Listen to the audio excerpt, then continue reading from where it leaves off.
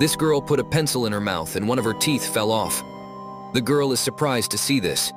She touches her tongue with her teeth to check, and then many of her teeth fall off.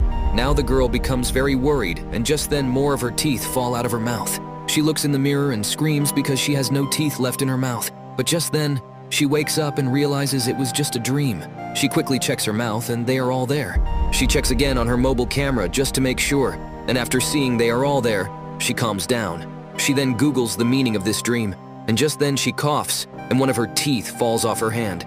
She is all confused now, and as she coughs again, many of her teeth fall off. It looks like her dream has come true. She quickly calls 911 and tells them she is choking on her teeth.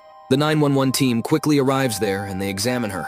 After examining her, they realize it's actually not her teeth that are falling off, but lumps of bacteria that are formed in her mouth. But why did she dream about it? If you have the answer, let me know in the comments.